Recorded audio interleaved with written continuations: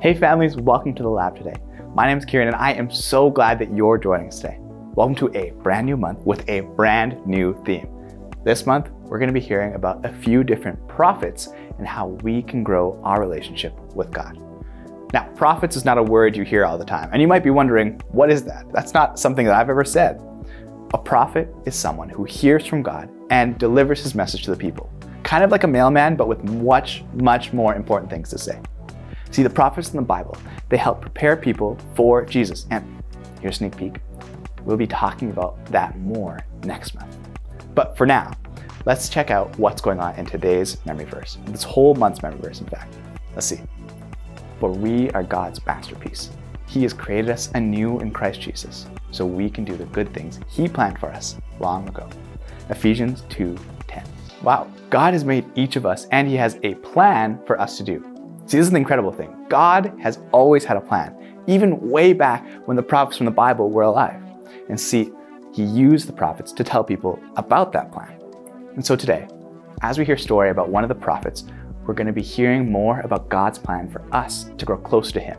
And that's actually going to be over this whole month. So, without further ado, let's check out a Bible story about a prophet named Elijah. We'll see you soon. Bam, bam, Another one bites the crust. Hey, I'm Baking. And I'm Boys. And here today, we have an episode of our all new show. Another one bites the crust. Featuring the Baking, Baking Boys. Oh yeah. But before we get into anything, first, we have to dress for the occasion. Exactly, right? that's what I'm always saying. What? We need mustaches. Mm. Every good chef ever has had a mustache, and that's a scientific fact. You can check it. Yes. Okay? We're gonna grow them instantly. Watch.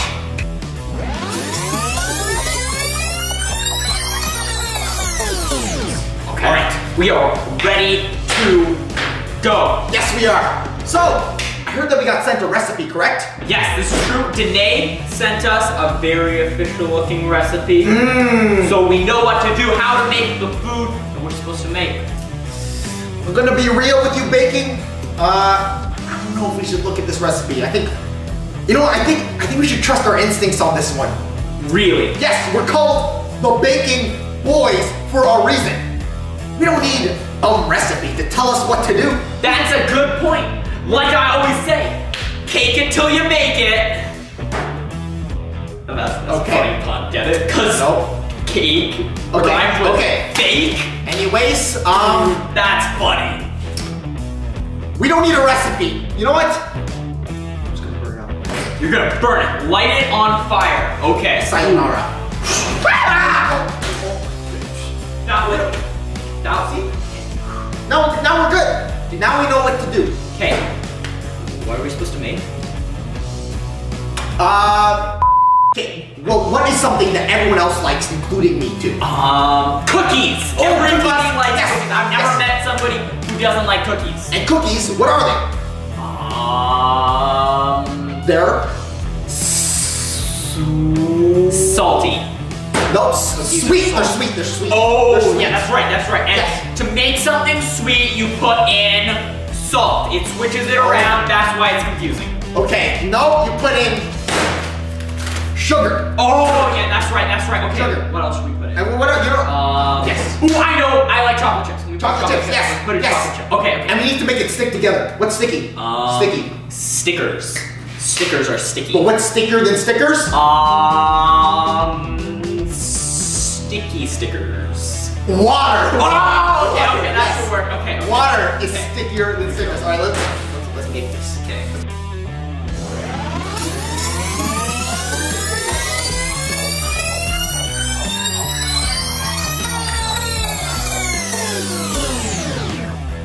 Okay, good. Here we go. All right, let's look at the consistency. Ooh, those look tasty. Yes, they do. Okay, it's time to cook them. Yes, I think we should put this into the oven. Okay. Yes? Let's put it. And here we are. We're back. With our finished product, let's stir it up just to make sure it's good. Stir, stir, stir. Okay. And look at the consistency. Taste test, Daniel. Taste test. All right, ready? Oh, that's hot. I'm gonna be real. I've seen cookies before, Daniel, and this is not how cookies look. And they, they, they don't taste like cookies neither. Mm. They taste actually pretty good. I'm gonna I'm gonna be honest. Okay, but I don't think it was cookies. I don't think trusting our instincts really worked out. Yeah. Um. Maybe we should call Danae. Maybe she can Yeah, help us. I think- I think that's okay, good. here we go. Danae, uh, we need some help. You did what? But of course it won't turn out if you just put in chocolate chips, water, and sugar. Trusting your own ideas rather than the recipe is not such a good idea. You know what though? Actually, this is a really great learning opportunity.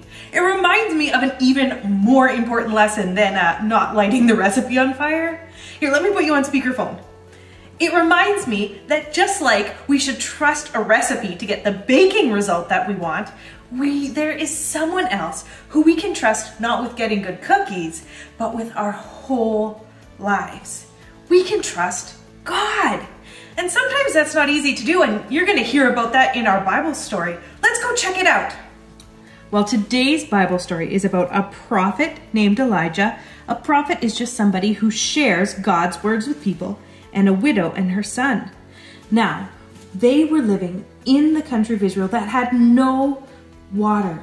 There was a huge drought, which meant there was no rain. And when there's no rain, the plants can't grow. And when plants can't grow, there's no crops to harvest, which means there is no food. So Elijah was in need of food. So God told him to go to visit this widow. And he found her and he said, May I please have some bread to eat? And she told him, All I have left is a little bit of flour and a little bit of oil. I was just about to bake some bread for me and my son, and that would be the last meal we have. But God told Elijah that it was going to be all right. Bake the bread and see what God can do. And so the widow chose to trust God. And she used the little bit of flour she had and the little bit of oil that she had, glug glug, and she baked some bread. And then she took the bread and she shared it with Elijah just like God had asked. And do you know what happened?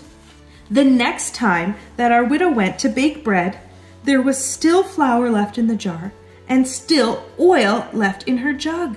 And the next time, more flour and more oil. Every day, God provided enough for them to eat until the rain had come back and they could live again. She chose to trust God, and God provided for her. So, even though it was really hard for Elijah to trust God, they did, and God provided for him, the widow, and her son. And we can trust God too, because He is always trustworthy. There are lots of ways that we can work towards having a great relationship with Jesus. But the first step is to trust God. Hey, kind of like a recipe for growing in our relationship with God.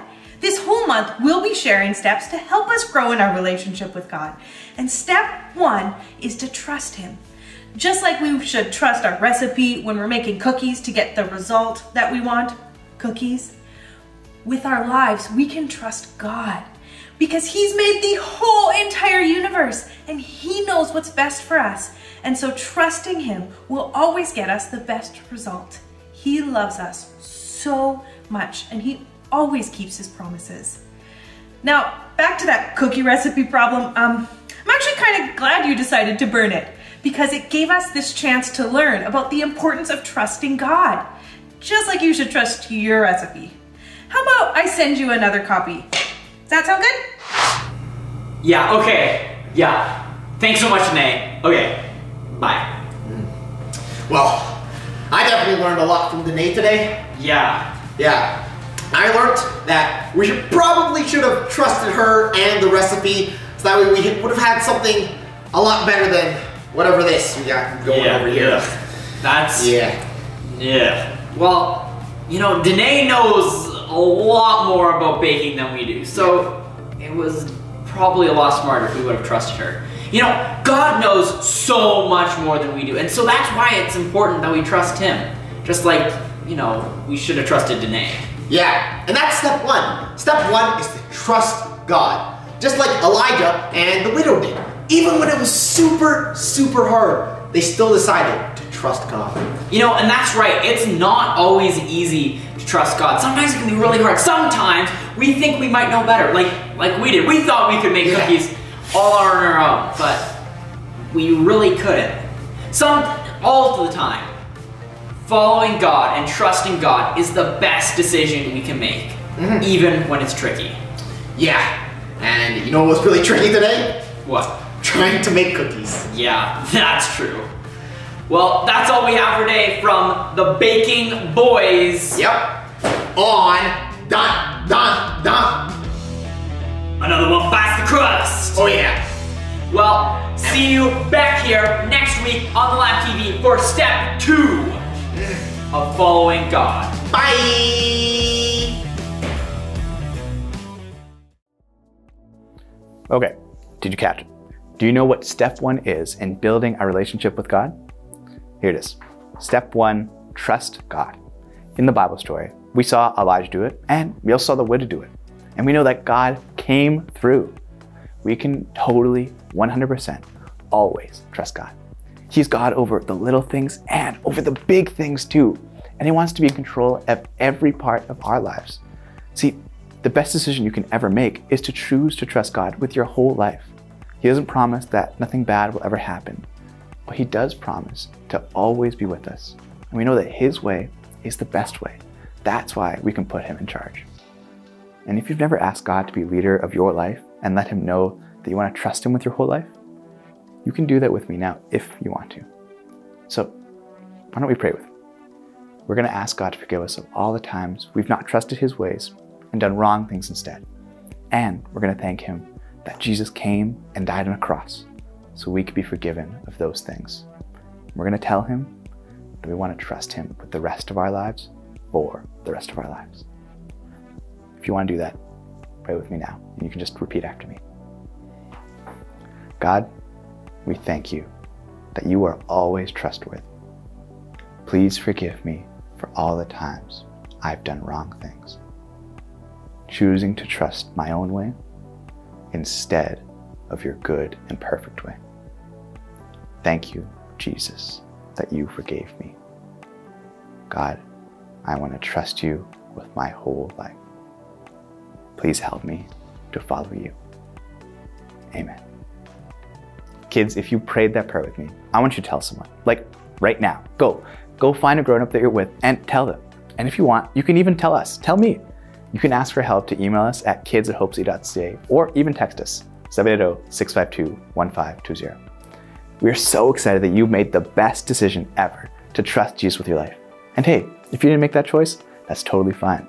Like we said, you're always welcome here. We're going to be having more times online here or in person at any of our locations. And if you don't want to trust Jesus, that's totally fine. But you're always welcome to come in. And if you want, make that choice with us too. That's all for today. Have fun, be safe, make good choices, and we'll see you soon, either online or in person. See ya.